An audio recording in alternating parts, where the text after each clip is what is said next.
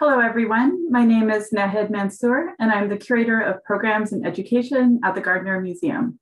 Welcome to our three work series. You will notice your mics and videos are muted and the chat option has been disabled. However, there will be a Q&A following today's conversation, and so we invite you to send us questions through the Q&A function at any point. As you may notice, closed captioning is also enabled, Please note that the closed captioning is automated and any information that appears is not reviewed for accuracy. Instructions on how to disable the closed captioning will be shared in the chat box. We're also recording today's program.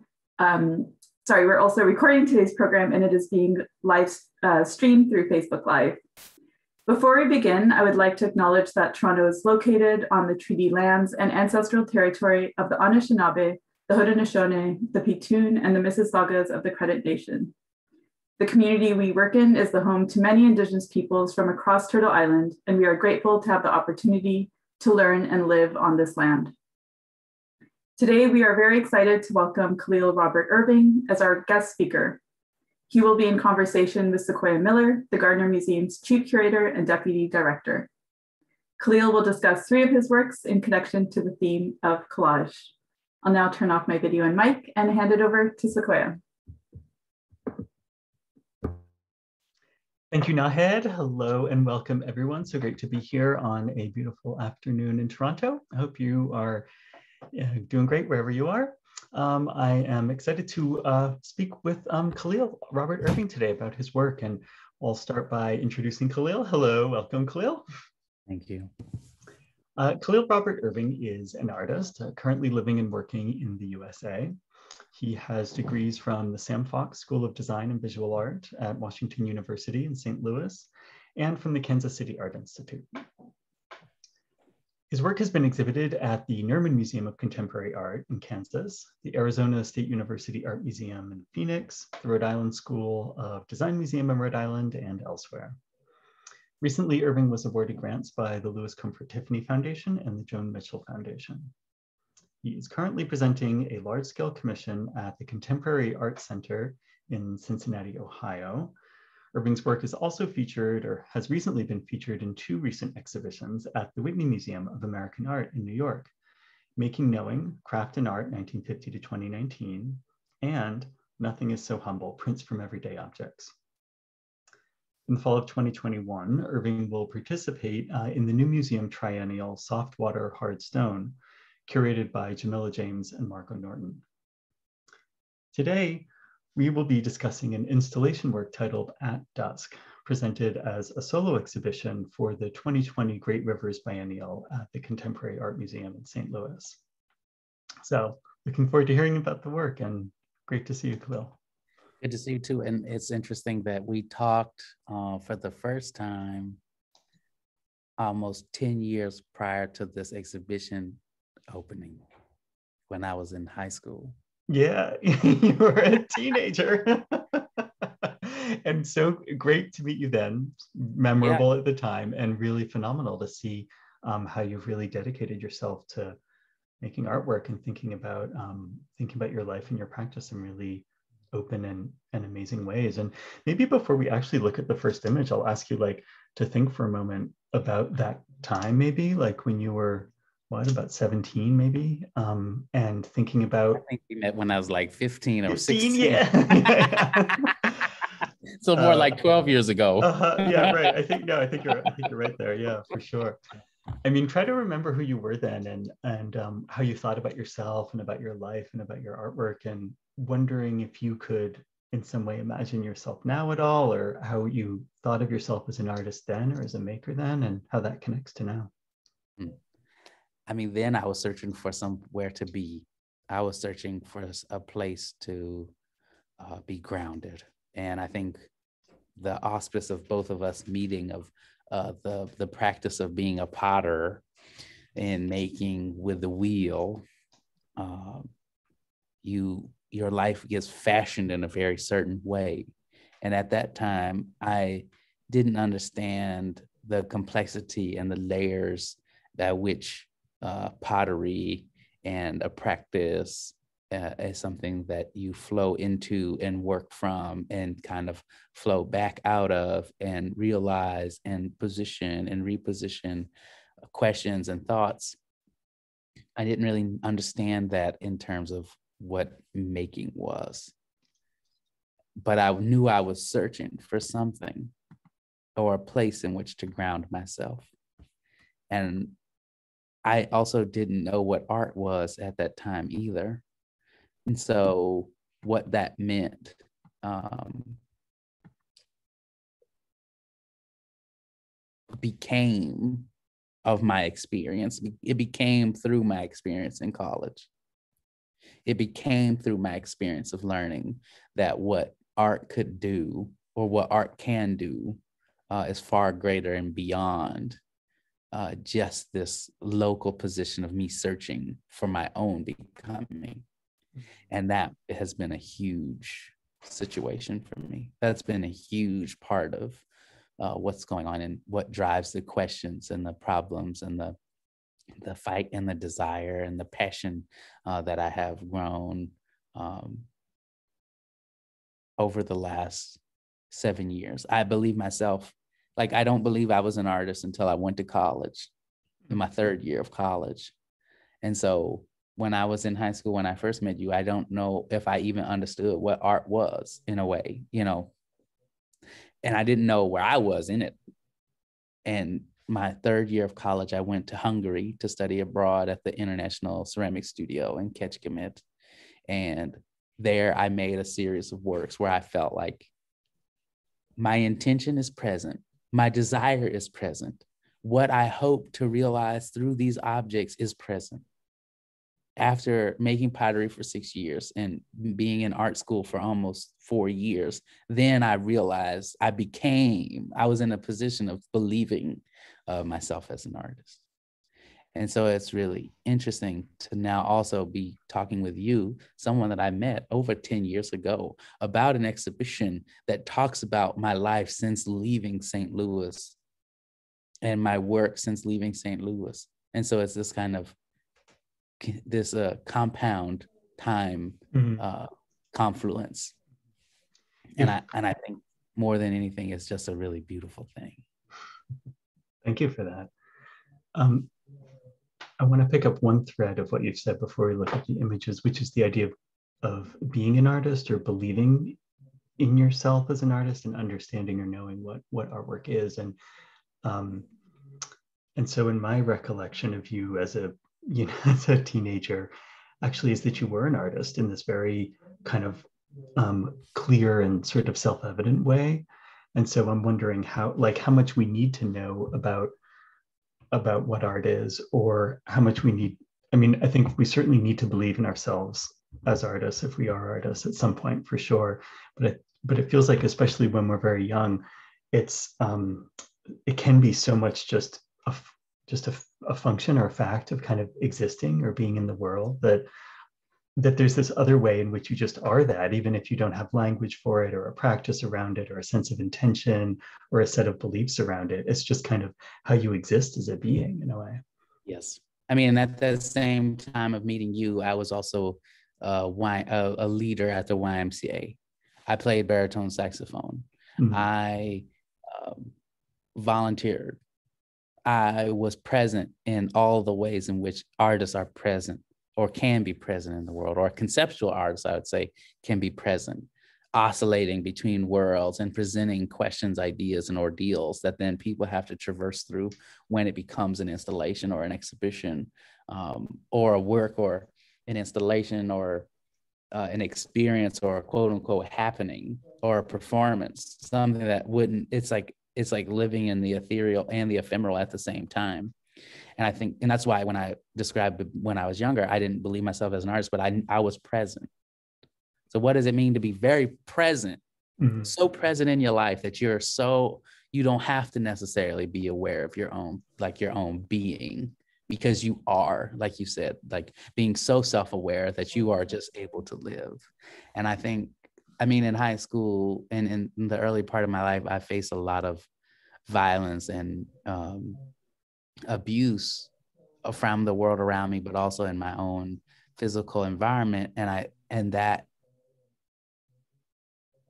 belief in being present was also through the longing of desiring love and needing love and passion and um, care. And so how does one and so that i think making art and going to art school and being and realizing my own autonomy as a person and making art and recognizing uh, the autonomy of the things that i'm making and able to create uh, allowed me then to also believe you know even if something was already present psychologically and physiologically i could believe it in my heart and like through what i do did because another part of making ceramics uh, or making art is the process. You have to process through to then be to to then be present with it or realize it or be aware with it.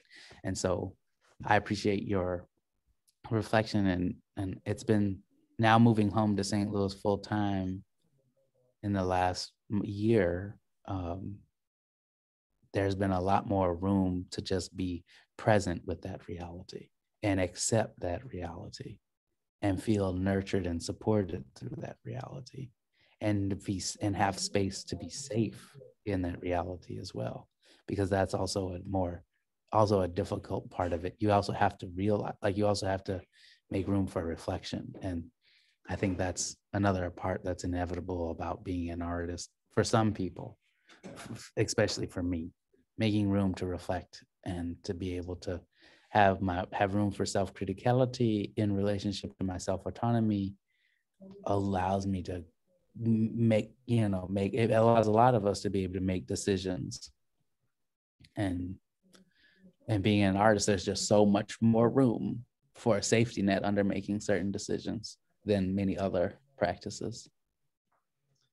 It's an amazing way to think about it. I think for so many folks the idea of of being an artist feels like a like a risky uh, decision or a risky path in some way because it's um, uncharted for each individual. It you know it's often economic uh, peril that, that comes with the decision or the commitment to being an artist. So it's a great way to sort of reframe that as as a, a container for safety or as a as a way of helping to expand the the safety component. Yeah, and I wish like I wish we also didn't think art think about art in such uh, limited ways because art making doesn't have to solely be painting. You can make art from copy paper. You can make art from grass on the ground. Like you could make the ground the ground walk. Like we have seen it be matured, like Robert Long walking as an artwork, and it only through photography does that ephemeral act uh, exist, and that we even understand that that is an earthwork um, I wish there was more roundness to the possibility of art and being an artist because I think that there would be a whole lot more inquiry and a whole lot more complication to uh, the understanding and the reality of of, of it. Does it feel like we're headed in that direction? Um, I mean, I think for some people, you have. I think for some people to make room for themselves in the art world, there has to be that um, and I also think that it's something that we get trained in as you're in art school. You know, like I remember when I first learned about Damien Hirst and when he said, you know, someone told me you have to make art with what's around you. And he was like, well, I, I, I had $50 million laying around me. So I made a skull. You know, uh, what is that piece called? Um, that piece is called. Uh, yeah, I don't know the title. That uh, for the love of God. I think that's.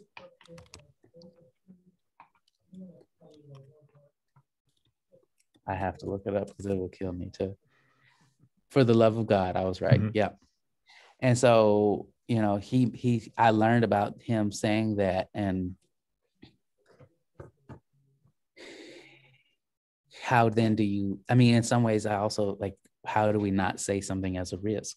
Because the the the the the connotation and the denotation of risk, I don't believe, and like from your what you shared, it's not. Sometimes it is what you are, not necessarily um, something you can control. And I think this reality of becoming an artist I met a woman who went to the Art Institute. She said, "You make pottery better than grad uh, junior level students at the Art Institute. You should go to the Art Institute." So I I applied to college and hoped and prayed and lived through the uh, trying to get a full tuition scholarship and uh, Richard Long. Sorry, I was wrong. Richard Long. Robert Long is a different artist. you got it. Don't worry. um, and so I went to the Art Institute, and sh- that opportunity of getting a full tuition scholarship was provided. You know, it was awarded, and I also tell people don't go to college unless you get a full tuition scholarship. Don't don't go to college until you can be the best you and present the best you, so that they can then give you feedback on that part of yourself instead of having to, you know, just accept it because that's what they're giving. Or just because you get accepted. Just because you have acceptance, you can also deny. Mm-hmm. Accept and deny. So where something can be a risk, it could also be savior. You know, it could also be safety, which I'm happy and I'm glad we're able to like kind of parse these things through because it uh it's a part of the real world. It's a part of our real lives. Absolutely, yeah, it is for sure. I mean, the, it's so much. Um, I think that's the the the kind of the connector between the conceptual end of things, or the you know the philosophical end of of making maybe, or being with the you know the having a farm on your roof. Kind of, it's like it's the whole it's the whole span, and they have to function together. Right. I think now's a good time for us to start in um, in with some images because um, maybe some of our participants haven't seen um, a lot of your work. So um, I'll remind us that we're looking at a number of works of Kahlil's from his recent project At Dusk. And so At Dusk is an exhibition. It's an installation-based exhibition that has a number of individual artworks in it. So we're looking at a ceramic sculpture here with um, kind of a collage uh, element on the wall behind it. And maybe Kahlil, we could start by you kind of telling us a little bit more about what we're looking at. This work is uh, from 2017 entitled Downtown Norfolk, Nebraska, in parentheses and italics 1997 or 1998, depending on the uh, venue in which I'm exhibiting it. And it's a work, only one work that I've made over the last several years that directly communicates or comes from this uh, autobiographical direction that the work can go through. We're seeing a slip cast uh, to go box cast in a white clay, and we see a uh, we see a ring that has uh, imagery from lottery tickets. And so, talking about my upbringing a little bit earlier, kind of alludes to some of the things that of what the symbologies in the work here mean. And downtown Norfolk, Nebraska is a, the place where the courthouse was when my father and my mother had a, a, a you know, a, a, little situation about who had custody of their of me, and that life is a lottery. And so I use the lottery tickets as a kind of reference to this desire of hope of uh, having a different life. But most people who get all the lottery tickets that I use are always losing tickets. So you, you're searching for, desiring of uh, another life from this monetary award, but you don't get it. And so I'm searching for, desiring a place of home or belonging. Uh, and this is kind of a moment. The sculpture is to capture that moment uh, in North in Nebraska and in, in, in around that part of my life when I was six or seven years old. The wall collage behind it is a was made during the beginning part of the pandemic up until the installation of this exhibition. And it has a really, really, really long title, but there are moments in time that relate to specifically St. Louis, also things that only exist in the digital realm or experiences that I had in the digital realm, like listening to Martin Perrier talk about his work uh, with the Brooklyn Rail photographs of family and friends that I spoke to on FaceTime. They're embedded in the work. And I just been using clay, I think, for the last few years as a way to capture photography in a way that no other media really has access to, thinking about the history and evolution and the technological advancement of, of, of lithographic or rice paper transfer on ceramic uh, and turning it in, then and, and in industry, it's become a completely digital process. And so trying to use that in relationship to the poetic structures of what art can be, I can collapse all these layers of time together in one. Oh, okay. So you put so much into that. I feel like there's a hundred questions that come out of that. So um, I want to start with the with collage though, because that's kind of the overarching sort of idea that we're thinking about a little bit today. And on the wall behind the work, you know, you've mentioned it's a um, like an, a, a literal collage, maybe we could say, that has a digital component and a physical component. And I'm wondering how you think about this idea of of collage or generating meaning through collage techniques let's say in in the ceramic form and in the kind of wall form? And what's the connection between those for you? Well in the in the in the sculpture form uh, when i was in undergrad a professor of mine told me clay can be three things. It can be a pot it can look like something from life and it can look like clay itself and that just saying those three things about another entity or saying three things about an entity in that way that is a collage mm-hmm. because you have to associate three different things with that reference point of that entity. And so for my sculptures in their physical nature are inherently a collage because they are aiming to do those three things at the same time. They're also operating multiple materials uh, simultaneously through fire. Then they have the representational iconography in which they are working to uh, kind of that are that they're working to collapse together. So the to-go box, the pouring gate ring, the paint can that's smushed with the the reflective metallic silver uh, knob on the side. And then in that way, there's a kind of referential collage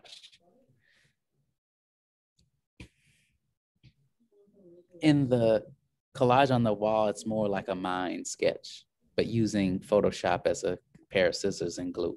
Mm-hmm. In the sculpture, and the scale of the wallpaper is not necessarily of the phone or of the screen in which it was com- in which it comes from. But for the sculpture it is working to go to be one to one. And so there's a fissuring of experience that comes along with the sculpture that the wallpaper will not necessarily engage. Interesting. Um, and how they operate together is a kind of pulling, a pulling on that reality that they are not one to one. That there's a, mm-hmm. there's a tension in engagement or scale and how one will receive one set of information and another.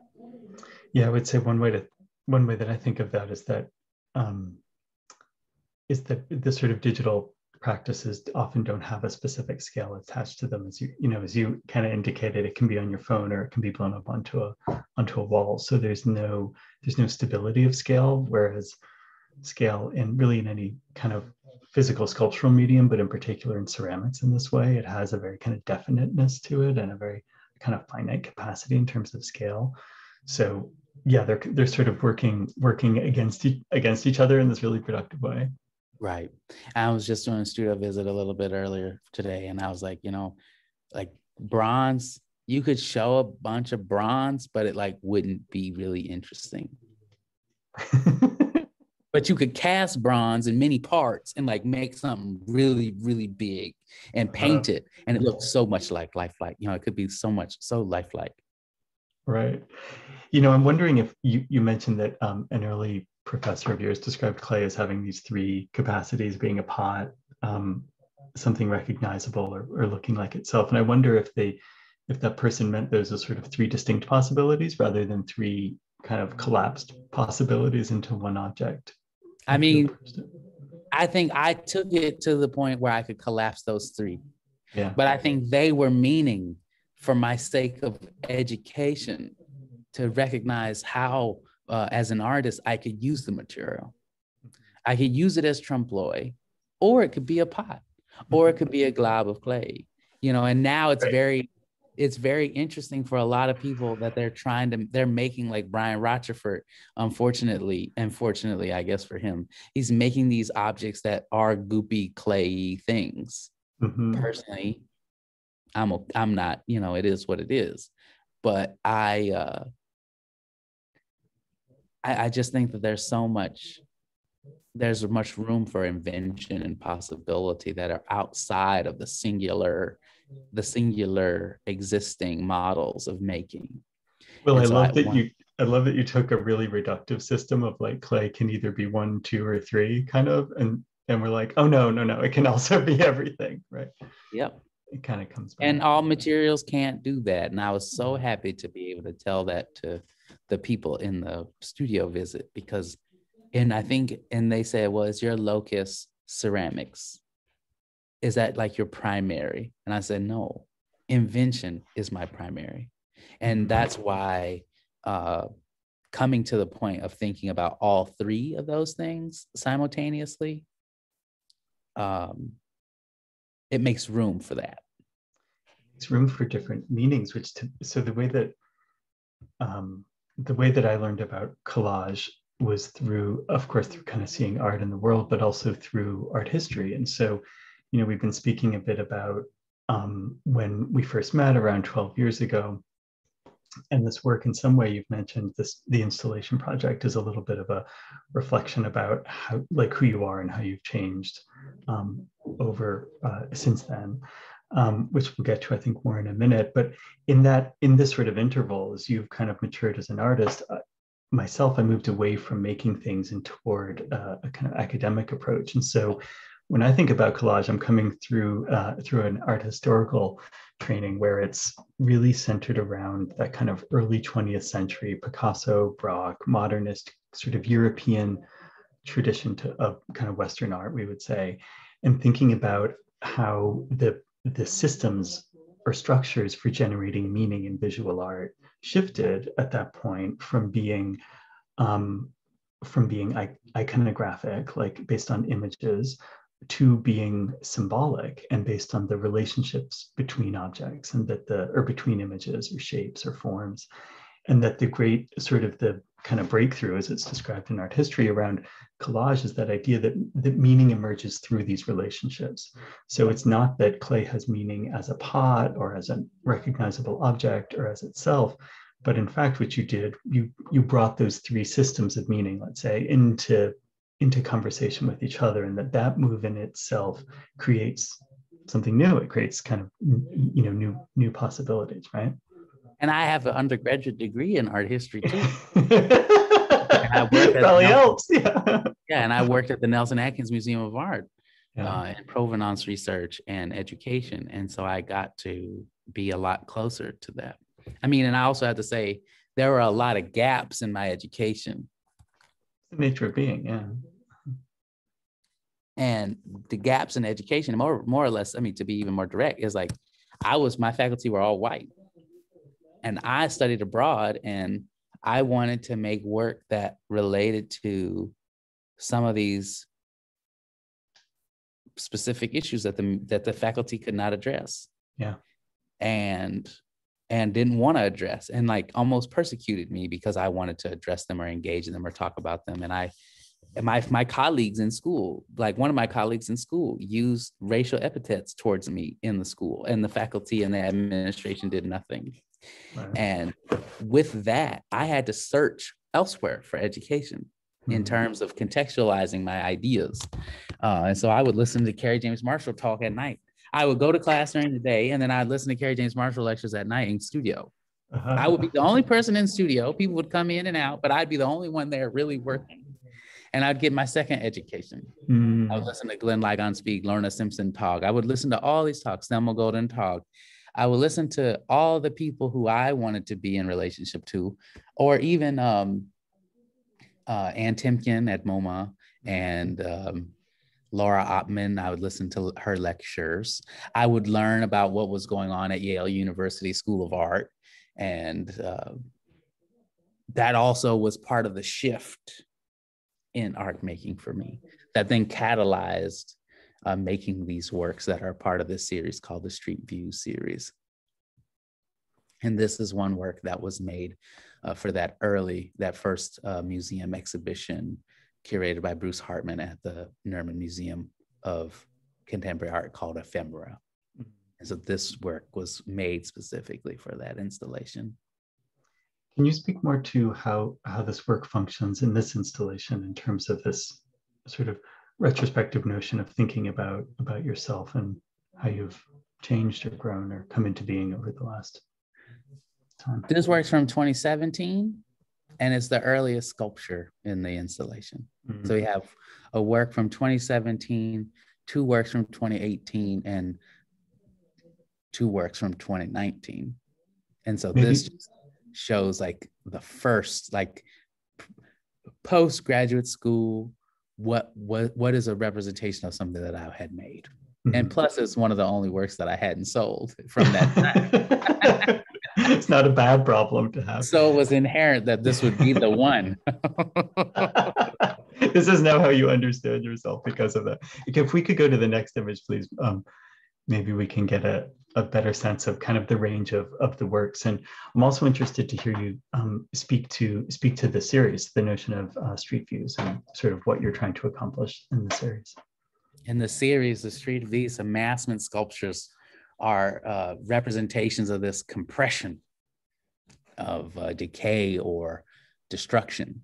And in ceramic, for in the sculpture specifically for me, they are getting captured as a, whole, a moment in time. Imagery relates to the sedimentation, how the work may be collapsed or falling or caught. Maybe uh, it's like space of being or its reality of being. But then it's also about this like possibility of invention and what a sculptural form can look like. And this work is, I made a title for it for my show, but I'm gonna be honest with you, it's really untitled. Um, but this work is about St. Louis quite a bit. And also, um, you see the silver arch in the distance, and you see this hexagonal jar uh, sitting with a lid. And to go back a little bit to collage, transfer, image transfers were made from my understanding and my lack of my ignorance in industrial uh, application in ceramic, uh, were made to transfer imagery to not have to, to alleviate the pressure on the hand painted, to be able to provide access to dishware with floral decoration, but with image transfer. And then the hand painted would be more expensive. And so here I'm thinking about the history of trade of object, like you see these uh, this hexagonal jar has the brand of the decal running along the side of the pour of what looks like concrete. But then you see these floral uh, motifs on the left side of that jar. And this object in relationship to violence uh, in St. Louis, that trade has happened historically across uh, scales, but also across times. And in this work, there's like this conflation of time presenting a historical or a reference to a historical object to something that's happening in the present and can the history of violence and colonial violence and trade relate to the same kind of um, horrific white supremacist violence that's happening uh, in the infrastructure or the sediment layer of the work amidst being towered over by the St. Louis Arch you know, or the reference to uh, the arch. Why do you think this white kind of hexagonal jar form kind of felt potent to you as a way of of pointing to those legacies of trade and economic power and dominance? Well, I started collecting hobby molds and then I started doing research on hobby mold forms. So, like a ginger jar or a hexagonal jar, those forms all relate to a form from history. But do we have the lineage to talk about the trajectory of how those forms were co opted, uh, appropriated, and then used as a way to then have value in one sense that do not have the same cultural understanding or value from another. So European porcelain production factories co-opted, adopted, appropriated, and stole from China, Japan, and Korea, adopted it as their own, and then started selling it to the world as their own using racial iconography, racist iconography of Asianist people on their vessels, but also even just adopting and co-opting uh, blue and white as their own, even though Asia did not have cobalt and that was cobalt came to Asia through Central Asia, it still doesn't mean that the cultural significance of the blue and white isn't Asian.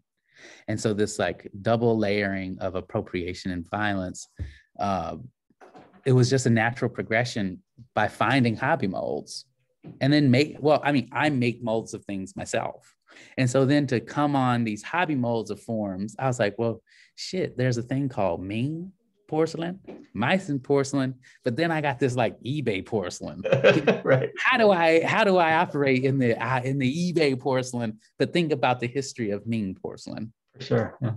or meissen what does it mean for us, a European porcelain factory to emerge in the 18th century, be producing Asian-like vessels? Mm-hmm. It's like racist, one of the most racist things, you know. It's like, but no one calls it that. I had a, I, I went, I was teaching at Alfred University on a residency or teaching fellowship or something for the for a year, and they invited a uh, Denise Leidy. You might know her from Yale University. Yeah, yeah, yeah. Uh-huh. and she gave a whole talk on porcelain. And I was like, ooh, this is going to be great. I'm going to be able, able to ask questions. Mm-hmm. And she mm-hmm. said, no, it was about commerce. It was about everything besides race, but it has everything to do about race. It has everything to do with white supremacy and Eurocentrism and Euro, the, the, the, the, the desire for Euro dominance on the world. And she rejected all my questions and um, I unfortunately did not get invited to the dinner, even though I was faculty. I got invited to the big group dinner, but not the the, uh, the more individual small function. Uh, but that is why, and through my time in, well, this work wasn't made in graduate school, or it wasn't made at Alfred. This was made on a residency at Knox College in Galesburg, Illinois, which is the home of Dick Blick and I had access to like go to Dick Blick and buy all these materials for cheap because they have a warehouse that's full of like all the things that people send back to the store. And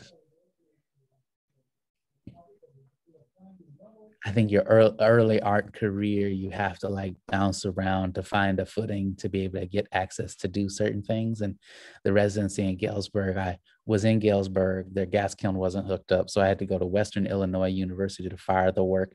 And then I could go back to Galesburg and put the decals and enamel on the surface. And so it's just like even in my early part of my life or earlier part of my career early, i mean i'm still in the early part of my career but uh, a few years ago i still my life in and itself was a collage mm-hmm. operating in the world as an artist like speaking with you today as a professional but then going out into the world and then being able to be harassed and like treated as subhuman or inhuman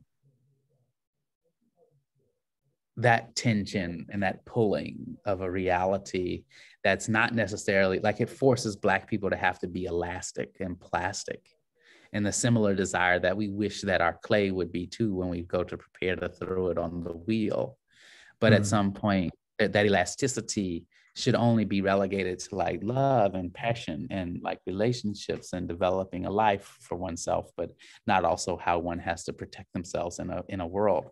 And so the work is also working to collapse or c- capture that together too. Hmm. And make memorial and make memorial for it and make memorial for the perpetrator or a white person taking that away from someone's life.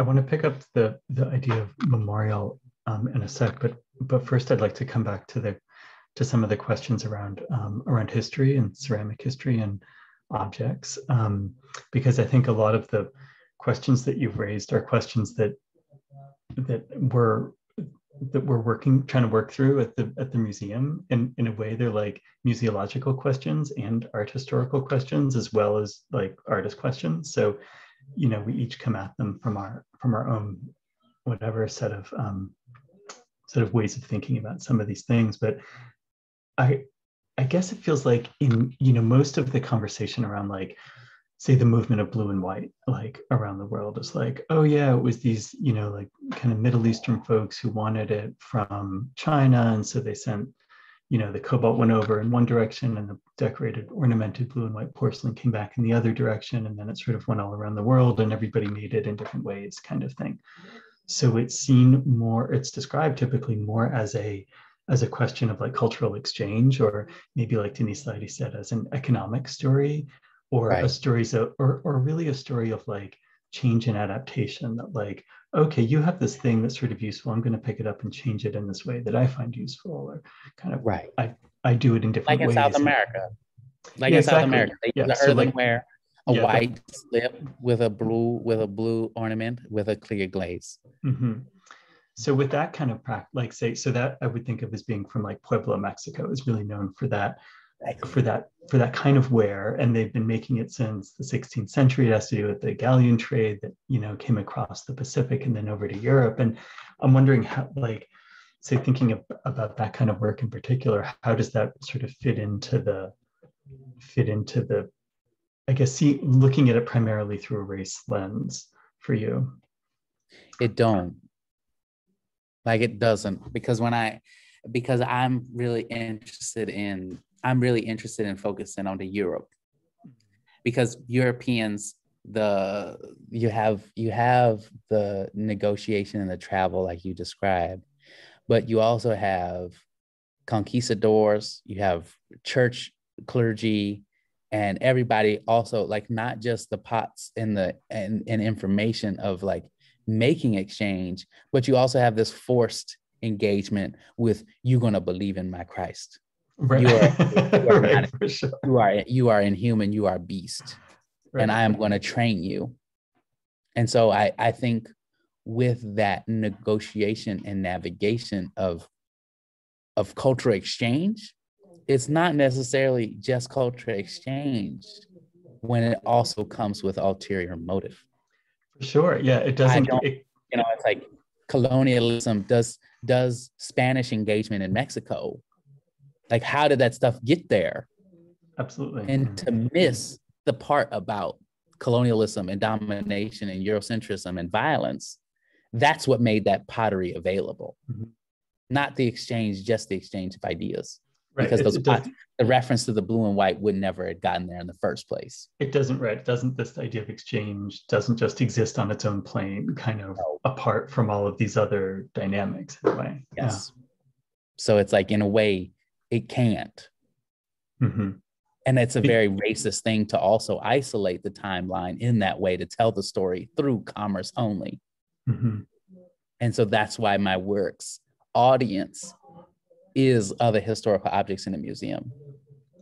The audience is not the viewer or the Wait. person who can see it the work is the audience is the historical objects that then will be then contextualized by my branching of these timelines together that then would make reason to why it cannot be just an economical or a an intellectual exchange between communities but it is a eurocentric violence that then ties and tethers the timeline to together the way it is mm. I want to just pause for a second and make sure that everyone caught what you just said because it's kind of amazing. So the audience, the audience for your work are, is the historical or are the historical objects in the museum. Yeah. Right. I'm working. So, I'm trying. I'm trying to get the St. Louis Art Museum to be my first 10 year survey, and I'm hoping to like have a main room of my show at the St. Louis Art Museum uh, be um, this kind of timeline timeline like structure that communicates the the dynamics of the time that I'm collapsing in my work and then using the museum around me to contextualize uh, what uh, is going on. It, it, yeah, that's amazing. So it is like a, what I would call a museological project. Yeah. That's amazing. That's why I said the show is going to be called Ming, Meissen, eBay. The Ming Mhm. porcelain, Meissen porcelain, eBay porcelain. You know, like I don't. And so I'm not in this exhibition, but in another exhibition, in a work that lives at the Carnegie Museum of Art, there's a ginger jar form that I found that looks like uh, a blue and white vessel from the Infinite Blue exhibition at the Brooklyn Museum that looks like my hobby mold form, but the ginger jar form looks very similar.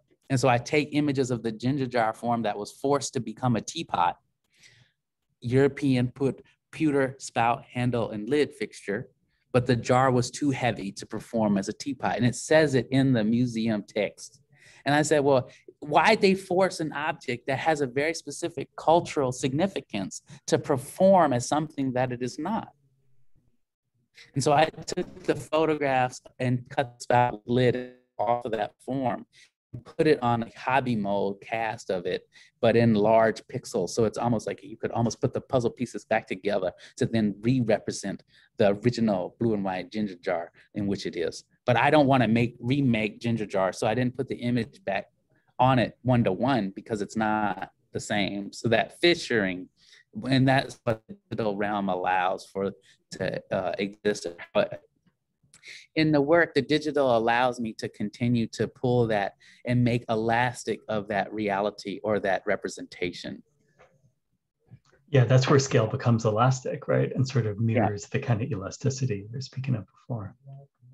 Yeah, and if you want to go to the next photo. This work is called Star Wars in parentheses Street Wars.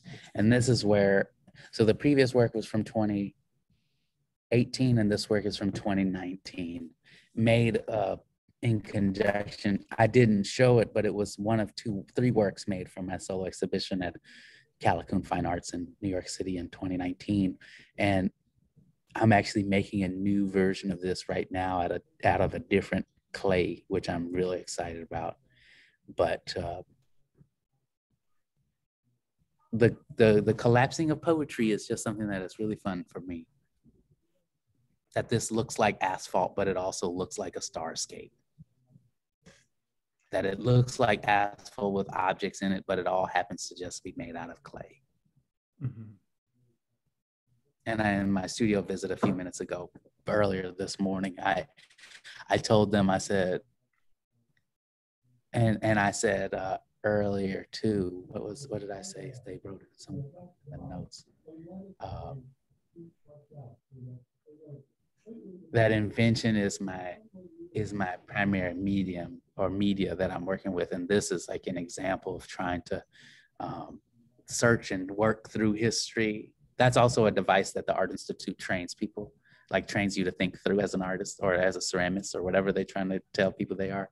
It's about searching through history, finding a reference point, and then working through that reference point to make the art today. And so I went to the Brooklyn, the ball in 2017 because I was a judge for the ACT-SO program through the NAACP, which gives high school students college awards to, or gives awards to first kids to go to college. And I saw the Antioch mosaics at the Baltimore Museum of Art. Antioch mosaics are ancient mosaics that were used to cover public and private spaces telling secular, mythological, and political narratives. And I was like, well, if they could tell political narratives and tell mythological narratives in 5 AD, then in 2020 I, or 2019, I can tell stories too. So this work is uh, a poetic gesture and reference to and remember and thinking of that moment, seeing those mosaics at the BMA. Mm-hmm. Hoping so, one day to make these works to where you can walk on them. Uh-huh and to co-op and or like to negotiate what ceramics what scale ceramic can arrive at i made out of mold out of a module.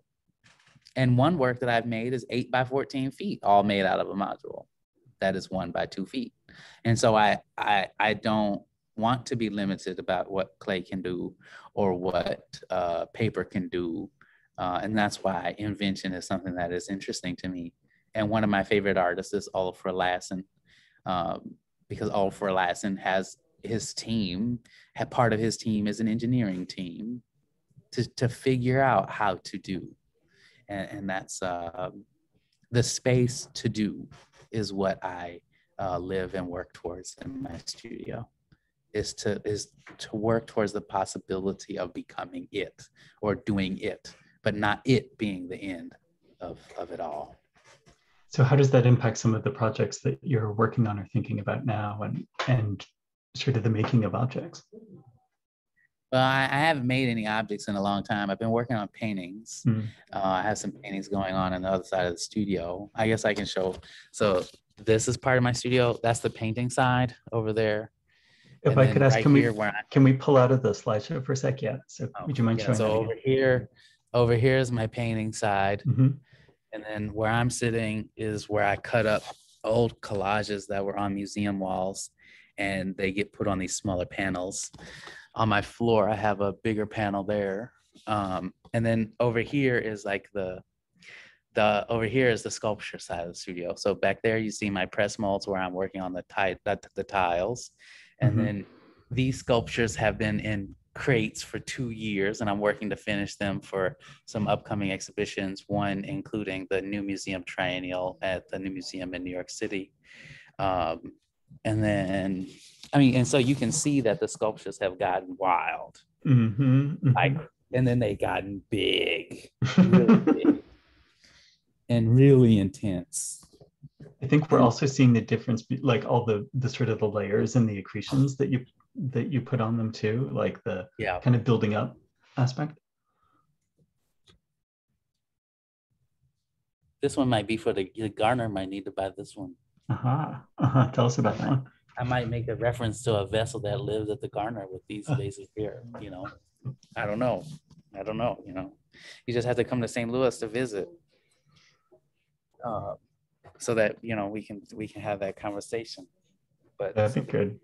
The tiles get pressed mm-hmm. and they, mm-hmm. get, they live between drywall until they're um, fairly hard. And then I uh, put them in a whole nother area for drying. And so I have my press molds and my bag clay. I really hate messy work.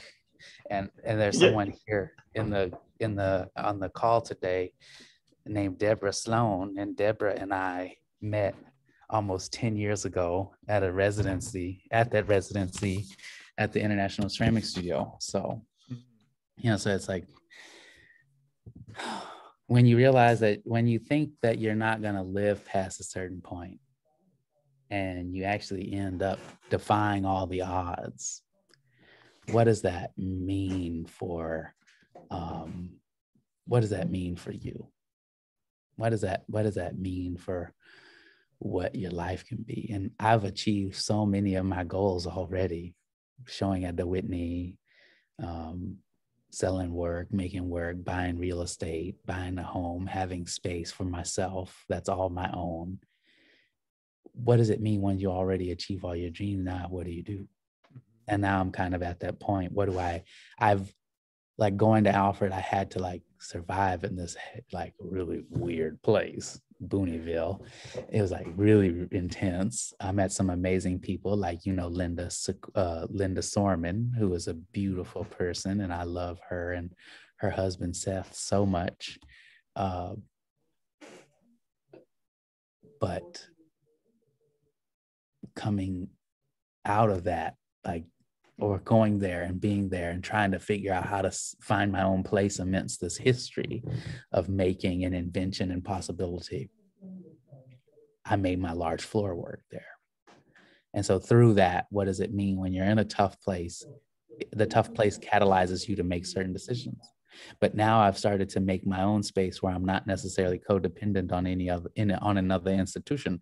I am the institution. And so what, is, what does it mean for me to then make a safe space, not just for myself, but for others? What does it mean to have a studio? But can it become, can part of my studio become a workers own cooperative? Can I influence local politics and uh, social issues in my neighborhood that then create a more safe space for everyone? You know, what can I do as a being that is beyond just the making of something and it can like exist in the world in a very interesting way and just making reference to that teapot and that ginger jar the ming dynasty ginger jar here's a digital collage with mm. that ginger jar present. And then here's the other side of the collage that has a photograph of the historical hexagonal trade vessel that I found, and now I can't find the damn image. I don't know where the image is. But that's the, the photograph yeah. of it. Mm-hmm. They, someone was mm-hmm. selling it on eBay, and I should have bought it because it's like, how do you talk about a history that of things or of issues that you only have uh, ephemeral experiences of? But if you, you have the tangible objects, what can you? What else? What else can you do? Yeah. Mm-hmm. What can you? What else can you really do? Uh, and what story? What other story can you really tell? That defies the digital realm. That defies uh, objectness but like it's like almost like the true definition of relational aesthetics mm. even with its own problematics uh, how how can you how can things be defined and redefined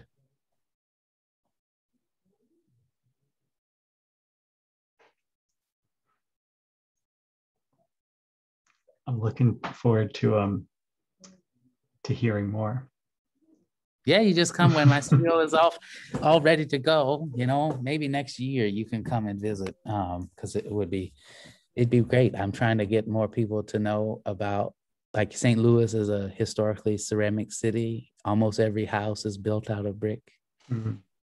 Uh, the land here is brick land, you know, it's clay land, it's red earthenware land. There was a river that used to run. I mean, there's the Mississippi River, but but this land is a fertile land. It's a possible land of possibility, and I think uh, there's a lot to there's a lot to learn uh, from here, and also a lot to still come from here. So, you know, I do. We're we should wrap up in a little bit, but I do want to ask you a kind of a big question that that I've been wondering about for a while, and that and you you're we're just speaking to St. Louis as a land of possibility and also the notion of sort of living past the point beyond when you may be expected to live at, at a time in your life. And I'm thinking about Michael Brown and Ferguson and you being from St. Louis and being a young man at that time and thinking about how um, and I guess all of the kind of street views work that in a way,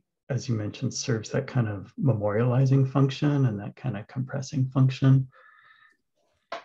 And I'm wondering if you could speak in a way, or maybe you have been in a sense, but I'm wondering if you could speak in a way to how, um, how like the how the shooting of Michael Brown or the protests that followed or the emergence of the Black Lives Matter movement um, sort of helped or contributed to how you how you understand your yourself in the world. Um, I mean, I've been black way before Michael Brown being murdered. Sure. So you know, I mean, the the hard part and the reality. I, I someone asked me this earlier. Is like, with these things coming out, is it illuminating? You know, like oh, they said with the with the Tulsa race massacre being recognized and remembered, is that like illuminating the East St. Louis race massacre that happened four years prior? I said, illuminating it for who? Illuminating it for black people because I already know what it was. I already know what it is. Mm-hmm. So you mean I said to meaning I said to them, I said, you mean illuminated for white people? Because it's already a real thing. I mean, Inuit communities in Canada, communities all over this. This is what I mean, like, like thinking about self-isolating information solely based under one premise is a white supremacist and a very violent act. So I'm from St. Louis. St. Louis County is where Michael Brown was murdered. But St. Louis and St. Louis County aren't the same thing. But the world has be white, mostly white people are becoming to know that Ferguson is synonymous with St. Louis, but if they but there's one word missing, St. Louis County. You know, but it's like the protests happen everywhere in the area. So it's like, mm-hmm. what do you, how do you deal with the metropolitan area? Mm-hmm. But also, how do you think about what is a city? A city is a city is a city is a point in a community historically is a, a city is a, a place in a community where the laws are given and then people go from the city out to then give the law and lay the law down. Mm. So, what does that mean? What does it mean to live in the city? And then in Ferguson, Missouri, the law was given that I can, I'm a white man, I can kill you at any time. I can do what I want and I can be acquitted for it. And then the people will praise my life. You know, I don't, I mean, for me personally, it is what it is. But I think me a, being able to have my own self autonomous space where I can, I mean, people, if of course it can be infiltrated, but when I when I put my fence up around my building and my land, I have a half an acre here at my building. Who's going to penetrate unless you break the fence down? You know, but my my business entity bought my building, so when people come, they have to they see it first under the auspice of a business or a corporation, mm. so hmm. that I still I have a I'm adding levels of security in front of myself. Right. So, but it's not. I mean, but I just want to say so that it's in recording like i'm not living like my like my life isn't realized because of michael brown my life is realized because of that first sculpture that i met, met, mentioned mm-hmm. mm-hmm. in norfolk nebraska living had been being born to a mixed parentage and dealing with the reality of living with my white mother in a rural community so it's like you know is I, I would be more willing i'm i'm more willing to ask what did the murder of michael brown and his body laying on the ground for hours do for you Then what did it do for me mm-hmm. because i mean but what did rodney king do for people in 1992 mm-hmm. damn near nothing because people still working as business as usual so it's i mean yeah, I, I, I, um,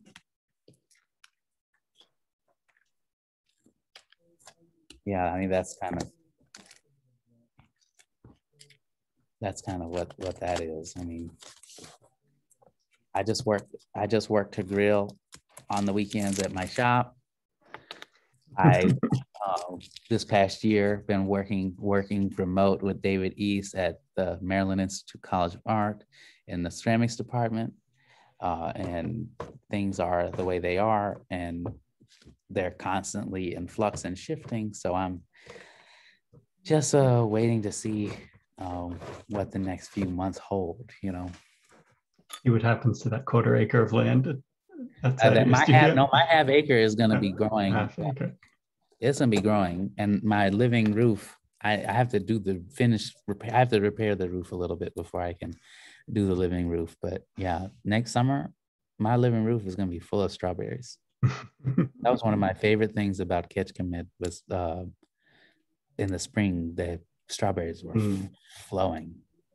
I was there from February to July. And I was, uh, and I went the summer before. And then the next year I went back again for two weeks. And then also a little bit about the history and the situation.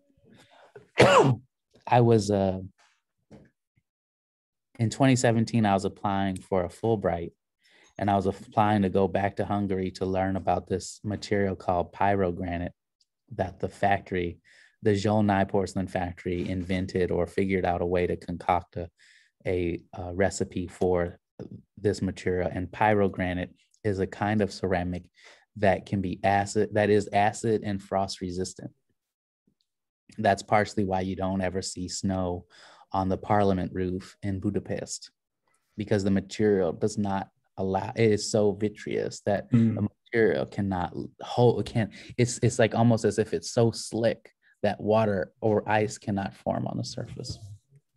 And uh, that is partially why and how I got deeply invested in the history of how hobby form, hobbyist mold forms. Like what what are they derivative of? Like where where's the lin how far can the lineage go back? But we don't question why a glass tumbler is a tea cone with an open bottom. You know, we don't question its form and we don't necessarily question its function because it works a fork was invented and it works to perform a specific function and the form is changing ever so slightly every once in a while, depending on the designer, but it is working. A spoon, the same, a bowl, the same. And so, but what does that, what does form mean when it becomes a product, a branded product? Enslaved people all around the world have names by people who which in which brand them.